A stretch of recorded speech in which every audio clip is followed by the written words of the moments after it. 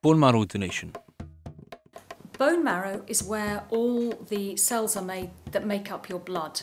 There are certain blood disorders, particularly cancers, where you have to destroy the bone marrow if you're going to get rid of the cancer.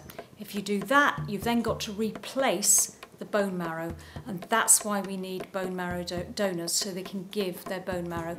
For thousands of people with life threatening blood disorders such as leukemia and lymphoma, a bone marrow transplant literally represents a chance to live. We've teamed up with the Anthony Nolan Trust to tell you how you can join the bone marrow register and what's involved in the process if you become a match for someone.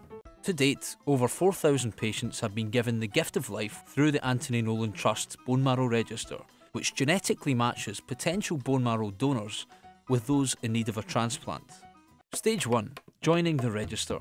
Joining the register is a very straightforward process and takes as little as 20 minutes. Yes, quite an interesting experience. I've never done it before. Uh, it was very simple. We just filled out a form very quickly, um, just gave a very quick blood sample. I didn't look because I'm quite squeamish. From start to finish, no more than 15 minutes.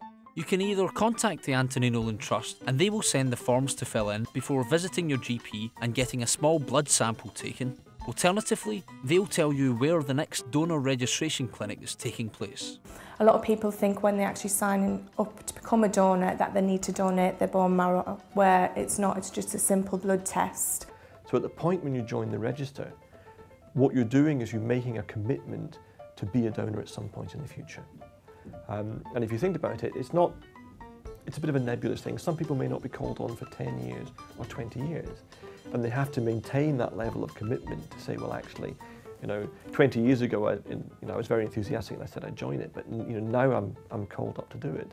And they have to be prepared in 10, 15, 20 years' time to say, right, now I can, I'll, I'll actually undertake the process that I, that I committed to.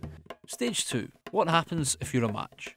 Most people who join the bone marrow register are never called to be a match for someone, but it's vitally important that those who do are properly committed. Because if you are a match for someone, you could very well be that person's only chance to live. If they do come up as a match for a patient, then there's the two procedures that they need to be aware of. One is the traditional bone marrow harvest, whereby the stem cells are removed from the pelvic bone. You know, people are, are afraid that it might be something that's painful. And they're afraid that they'll be experiencing that pain, that they'll be awake when the procedure's done. But in fact, for the bone marrow harvests, it's done under a general anaesthetic. So you don't know anything about it. The other method of donation is the peripheral blood stem cell collection, and that involves a five-day course of injections of GCSF, which is a growth factor.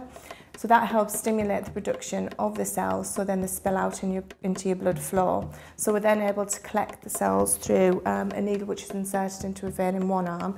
It goes through a machine that separates the cells, and then the, main, the remaining blood's pumped back through to, into the other arm. And that procedure takes about four to five hours. Um, I was quite blasé. I was the way I was thinking is I'm just going to give blood. That that's all it is, and it's only over the last two three days it's really sunk in, and this is this is happening. I'm actually going to potentially save somebody's life. I've not really thought about it, but yeah, it's good. At any one time, there are over 7,000 men, women, and children waiting for life saving bone marrow transplants. Their chances of finding a donor improve with every single person who steps forward and joins the register. You may be the only person in the world who can save them, but you'll never know unless you take the 15 minutes to join the bone marrow register. We've given the chance of life to over 4,000 patients to date, and that's continuing to rise.